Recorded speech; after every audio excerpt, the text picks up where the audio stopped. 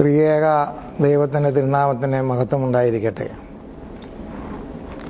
കർത്താവിനാൽ അനുഗ്രഹിക്കപ്പെട്ടവരെ ഈ കോവിഡ് ചികിത്സാ സമയത്തും നിങ്ങളോട് ഏതാനും ചില കാര്യങ്ങൾ സംസാരിക്കുവാൻ ദൈവം നൽകിയ വലിയ കൃപയെ ഓർത്ത് ദൈവം മുൻപാകെ സ്വയം സമർപ്പിക്കുകയും സ്തുതിക്കുകയും സ്തോത്രം ചെയ്യുകയും ചെയ്യുന്നു.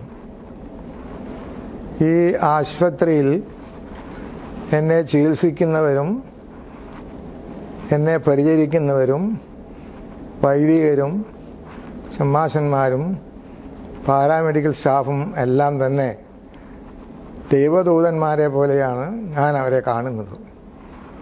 കാരണം അവർ അത്രമാത്രം ശുഷ്കാന്തിയോടെയാണ് കാര്യങ്ങൾ നിർവഹിക്കുന്നത്. അതും ദൈവത്തിന്റെ കരുണയും അവരുടെ സന്മനസ്സും അവരുടെ സേവന മനോഭാവവും അവളെ കാണുന്നു മുപ്പത്താറാം ഞായറാഴ്ച എന്ന് പറയുന്നത് നമ്മെ സംബന്ധിച്ചിടത്തോളം നമ്മുടെ സ്വത്വത്തിന്റെയും അടിസ്ഥാനത്തിന്റെയും സ്വാതന്ത്ര്യത്തിന്റെയും സ്വയം ശിക്ഷകത്തിന്റെയും ഒരു പ്രതീകമാണ്. അത് നമുക്ക് നഷ്ടപ്പെടുത്തിക്കൂടാ. പരിശുദ്ധ മാർത്തോമാസ്ലീകായുടെ മക്കളായിരിക്കുന്ന നമ്മൾ എ ഡി അൻപത്തി രണ്ട് മുതൽ ക്രിസ്തുവിൽ സുവിശേഷത്താൽ ജനിക്കപ്പെട്ടവരാണ്. അതുകൊണ്ട് തന്നെ ഈ മുപ്പത്താറാം ഞായറാഴ്ച എന്ന് പറയുന്ന കാതോലിക്ക ദിനം ആഘോഷം എന്ന് പറയുന്നത് നമ്മുടെ ഉള്ളിന്റെ ഉള്ളിൽ നിന്ന് വീശിയടിക്കുന്ന ചില തിരമാലകൾ പോലെ നിലനിൽക്കും. സഭയെന്ന് പറയുന്നത് ഏകവും പരിശുദ്ധവും അപ്പോസ്തോലികവും കാതോലികവുമാണ്. എന്താണ് ഈ ഏകം എന്ന് പറയുന്നത്? പരസ്പര സ്വാതന്ത്ര്യവും കരുതലും ഉള്ള സഹോദരീ സഭകൾ ആയിട്ട് ഒരുമിച്ച് നിൽക്കുന്നു. ഒരു തോട്ടത്തിൽ അനേക വൃക്ഷങ്ങൾ കാണും. ഒരു വൃക്ഷവും മറ്റൊരു വൃക്ഷത്തിന്റെ കീഴിലല്ല. അത് ഒരു വനമാണ് ഒരു തോട്ടമാണ്. എല്ലാ വൃക്ഷങ്ങളും അവിടെ ഉണ്ടാകും.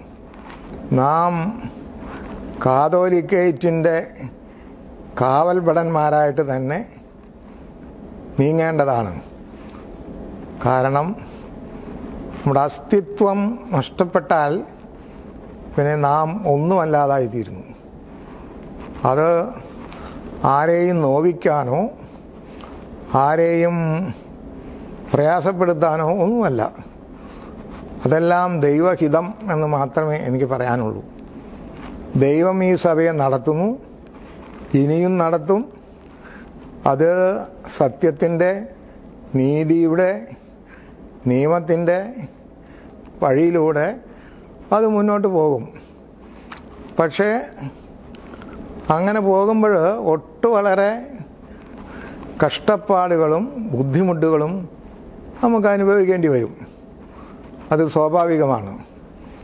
യേശുക്രിസ്തു പോലും ഐഹിക ജീവിതത്തിൽ പരാജയപ്പെട്ട ആളാണെന്ന് ഒരുപക്ഷെ യഹൂദന്മാർക്ക് തോന്നിയേക്കാം. പക്ഷെ അത് പരാജയമല്ലായിരുന്നു. ഒരു പുതിയ ജീവനും ആരംഭവും ചൈതന്യവും ഒരു വലിയ പ്രത്യാശയും ഒക്കെ നൽകുകയാണ് കർത്താവ് ചെയ്തത്. കർത്താവ് അറിഞ്ഞുകൊണ്ട് തന്നെയാണ് ഇതൊക്കെ സ്വീകരിച്ചത് സ്വയം സ്വീകരിച്ചത്. സാത്താനോട് മല്ലിടുകയും എല്ലാ കാര്യങ്ങളും കൃത്യമായി ശിഷ്യന്മാരോട് പറഞ്ഞു കൊടുക്കുകയും പക്ഷേ അവർക്ക് അന്നൊന്നും അത് ഗ്രഹിക്കാൻ കഴിഞ്ഞിരുന്നില്ല. ഒരു പാവപ്പെട്ടവരാണ്. പക്ഷേ ഈ പാവപ്പെട്ടവർ എന്ന് നമ്മൾ വിചാരിക്കുമ്പോൾ അവർ പിന്നീട് ലോകത്തെ കീഴ്മേൽ മറിച്ചവരായി എന്ന് അവരെക്കുറിച്ച് പറയുന്നു.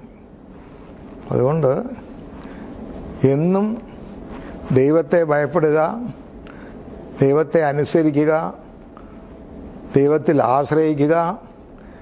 ദൈവം നമുക്ക് നൽകുന്ന ഏത് കാര്യങ്ങളും നന്മയ്ക്കാണെന്ന് വിചാരിക്കുക. അങ്ങനെ മുമ്പോട്ട് പോകണം.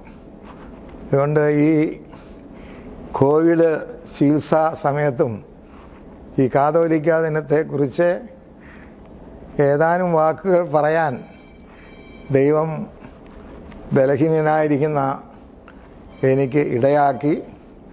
നിങ്ങളുടെ പ്രാർത്ഥന ധാരാളമുണ്ടെന്നറിയാം. നിങ്ങളുടെ കരുതൽ സ്നേഹം വളരെ വലുതാണെന്നറിയാം. അതിനൊക്കെ ദൈവം നിങ്ങൾക്ക് പ്രതിഫലം നൽകട്ടെ. ദൈവമാണ് നമ്മുടെ മുഖ്യമായ ആശ്രയ സങ്കേതം. അവിടെ നമുക്ക് ആശ്രയിക്കാം. ഈ രണ്ടായിരത്തി ഇരുപത്തി ഒന്നാം ആണ്ടിലെ കാതോലിക്ക ദിനം എല്ലാ വിധത്തിലും വിജയിച്ച് ഈ സഭയെ ഇനിയും ലോകാന്ത്യത്തോളം മുന്നോട്ട് നയിക്കപ്പെടുവാൻ തക്കവണ്ണം ദൈവസന്നിധിയിൽ നമുക്ക് നമ്മെ തന്നെ സമർപ്പിക്കാം. ദൈവം നിങ്ങളെല്ലാവരെയും അനുഗ്രഹിക്കട്ടെ.